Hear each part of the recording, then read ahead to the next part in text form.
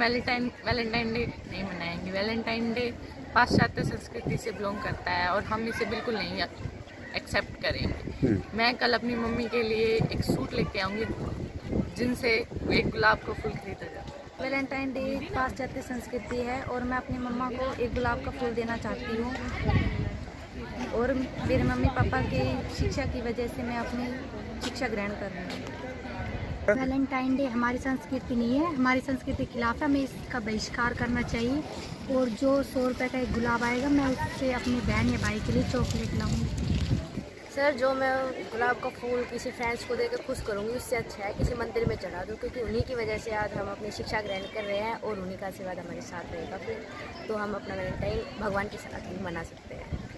जो ये Valentine day है हमारी संस्कृति का नहीं है कि हमें फूलों के खर्चा करने की बजाय हमें इसके पैसे सेव करके अपने मम्मी पापा के लिए गिफ्ट्स खरीदने चाहिए और अपने और भी अच्छे कामों के लिए यूज़ करने चाहिए।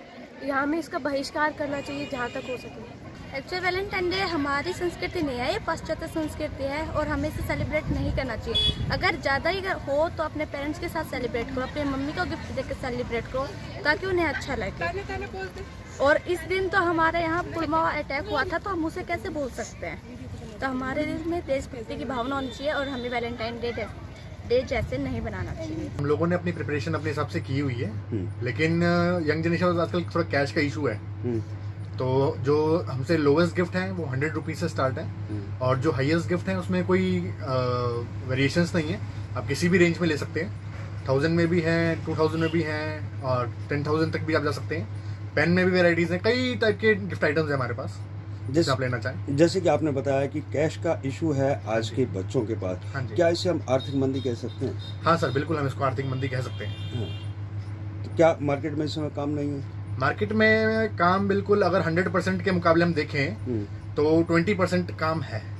पहले की अपेक्षा पिछले साल के मुकाबले पिछले साल सेवेंटी एटी परसेंट काम था। हम्म, इस साल ट्वेंटी परसेंट तक काम आ चुका है। और लगता है जैसे कस्टमर्स को देख के कि डाउन जा सकता है और।